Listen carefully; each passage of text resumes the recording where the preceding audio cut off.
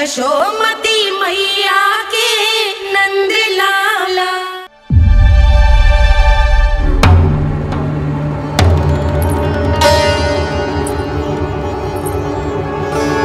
ओ महाराज आप कौन?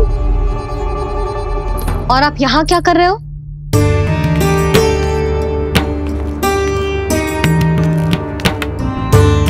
मैं आपका लल्ला। अच्छा लल्ला को देखने आए हो। अरे तो इतनी देर क्यों कर दी? जब सब आए थे तब क्यों ना आया आपको पहले कभी गोकुल में देखो ना है? कहाँ से हो आप? और सबसे पहले तो अपना नाम बताओ। सच्ची सच्ची बोलो। मैं शनि। शनि देव। अच्छा। सनी देव मैं चंडी माता। मैं आप एक तो चोरी चोरी झरोके से झाँक रहे थे। ऊपर से स्वयं को सनी देव बता रहे हो। हैं? क्या समझते हो? तुम देवता के रूप में स्वांग रचाओगे और मैं तुम्हें सच्ची का देवता मान लूँगी। संपूर्ण जगत मुझे शनि देव के नाम से जानता है मैया। मैं सत्य कह रहा हूँ। सत्य कहने वाले ऐसे दृष्टि ना चुराते। आँखों में आँखें डाल के बात करते हैं। आपको कैसे समझाऊं? मैं चाह कर भी आपके नेत्रों में नहीं देख सकता। अपनी वक्र दृष्टि से श्री हरि की मैया का अहित कैसे कर सकता हूँ मैं? अच्छा पहचान का छल सिद्ध हो गओ तो मौन हो गए। इससे पहले कि नंद महाराज को पता चल। चलो जाओ यहाँ से आप। बस एक बार अपने लल्ला के दर्शन करा दो मैया। फिर चला जाऊँगा। मैं सत्य कह रहा हूँ कि मैं शनिदेव हूँ। यदि जे सच बोल रहा होता तो मैं अवश्य ही इसे लल्ला से मिलवा देती। किंतु जे तो झूठ पे झूठ बोले जा रहा है। अब तो इसे गोकुल का खट्टा मट्ठा करके ना पिलाओ तो मेरा भी नाम जसोदा ना। महाराज यदि आप सच्ची में सनी देव हैं, फिर तो मैं अपने लल्ला के दर्शन बिल्कुल ना करवाऊँगी। किंतु क्यों मैया? भूल गया। आपकी ही दृष्टि के कारण मैया पार्वती के लल्ला का शीश कट गया था। फिर हमारे डमरूधारी भोले भंडारी ने हाथी का शीश लगा के उनके प्राण बचाओ। और अच्छे भले हमारे गणेश जी गजानन बन गए। वो भगवान है। उनके लिए ये सब करना संभव था। किंतु मैं तो साधारण मैया हूँ महाराज। यदि आपने मेरे लल्ला को देख लो। और उन्हें आपके वक्र दृष्टि लग गई तो? ना ना आप ही बताओ। ऐसे कैसे देखने दूँ आपको अपने लल्ला को है? सनी देव अब आप क्षमा करो मुझे। मैं अपनी दृष्टि? केवल छह दिन का है मेरा लल्ला।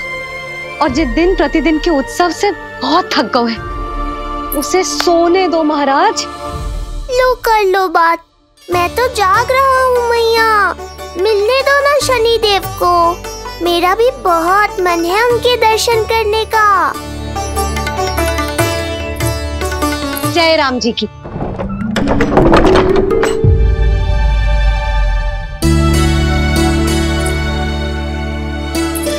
ऐसे ढोंगियों से जितना बच के रहे लल्ला उतना ही अच्छा।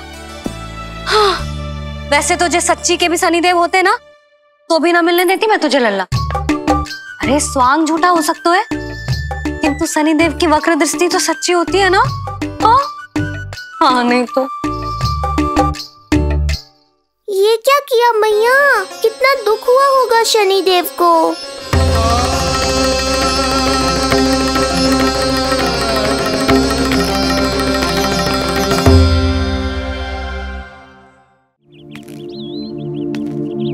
हे नारायण, मैं तो आप ही का सेवक हूँ।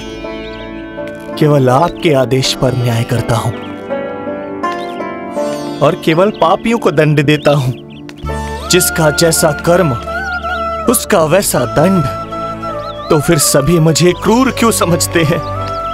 क्यों भयभीत होते हैं मेरी छाया तक से? देवी, देवता, ऋषि, मुनि, नर, नारी, गंधर्व, यक्ष, किन्नर सभी को आपके दर्शन प्राप्त हुए। तो फिर ये सौभाग्य मुझसे क्यों छीन लिया गया? क्यों? ये तो न्याय नहीं है ना प्रभु। ये तो न्याय नहीं है ना प्रभु।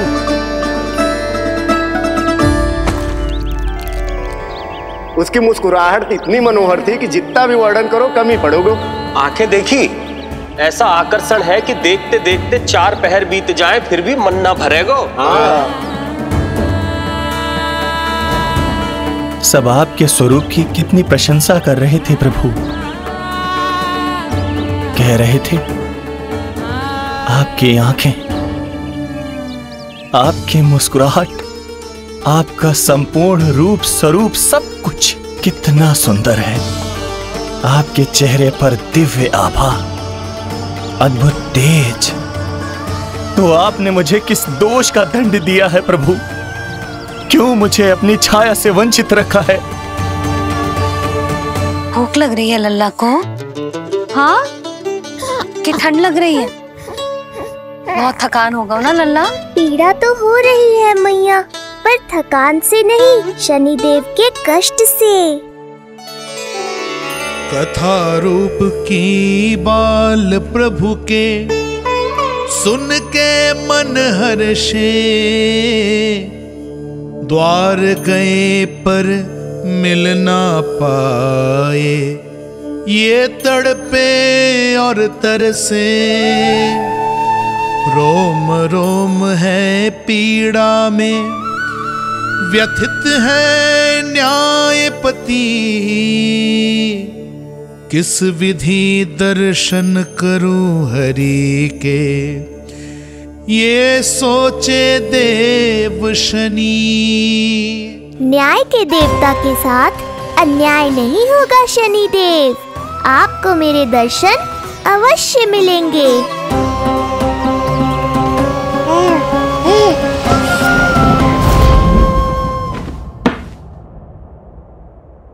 ठंडे झोंके से नींद ना आ रही लल्ला को? हाँ? मैं अभी सारे झरोके बंद कर देती हूँ। ठीक है? फिर मैया तुझे लोरी गा के सुलाएगी? तो बहुत अच्छे से सोएगा मेरा लल्ला। अभी आई मैया हाँ?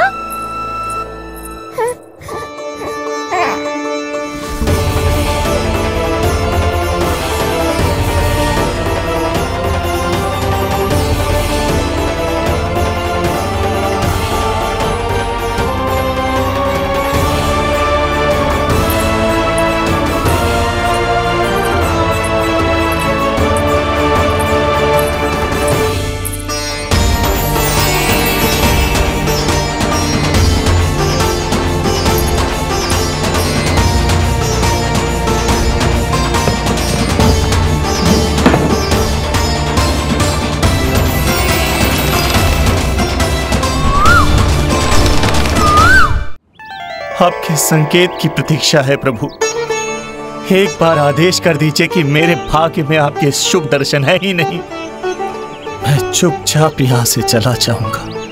क्या मैं इतना भी योग्य नहीं, प्रभु, कि आप मुझे संकेत दें?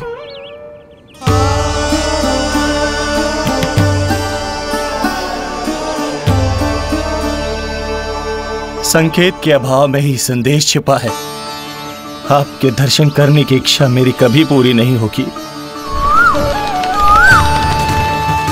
इसका अर्थ है कि मुझे ये हट छोड़कर लौट जाना चाहिए। लौट जाना चाहिए, प्रभु, लौट जाना चाहिए।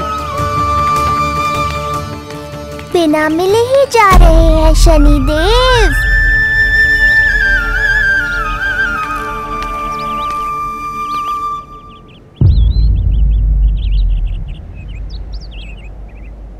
अवश्य ही ये मेरा भ्रम होगा।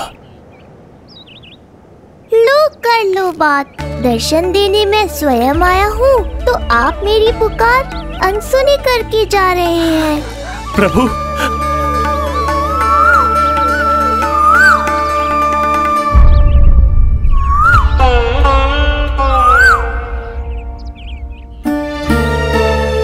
आपके दर्शनों के लिए कितना व्याकुल हूँ मैं। सामने कोकिला है। लेकिन स्वर मुझे आपका सुनाई दे रहा। ऐसा इसलिए शनिदेव क्योंकि ये कोकिला माध्यम है। मुझे आपसे मिलाने में सहायक है ये कोकिला।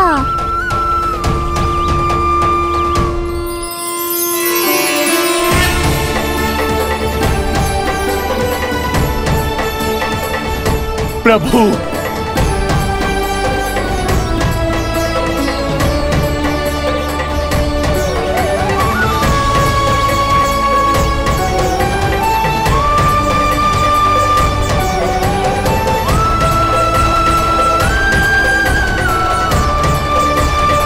प्रभु मैं धन्य हो गया। संपूर्ण जगत आपके दर्शन लेने आया। किंतु आप मुझे दर्शन देने चले आए प्रभु। आपने सच्चे हृदय से स्मरण किया था फिर कैसे ना आता मैं? जब भक्त ईश्वर को पूरी सच्चाई से पुकारता है तो उसकी पुकार बड़ी से बड़ी तपस्या से भी बड़ी होती है। मेरी तपस्या का फल इतने बड़े वरदान के रूप में मिलेगा। इसकी कल्पना भी नहीं की थी मैंने। आपने अपनी तपस्या से इस स्थान को पवित्र कर दिया है शनिदेव। आज से जो भी मुझे हृदय में धारण कर यहाँ आएगा उसे मेरी कृपा अवश्य प्राप्त होगी। तो फिर प्रभु मेरा एक अंश यहाँ सदैव निवास करेगा। इसीलिए आज से ये स्थान कोकिलावन के रूप में जाना जाएगा। और मेरी वक्र दृष्टि से प्रभावित होकर जो व्यक्ति यहाँ पर आकर आपकी भक्ति करेगा, वो विनाशकारी प्रभाव से पूरी तरह मुक्त हो जाएगा।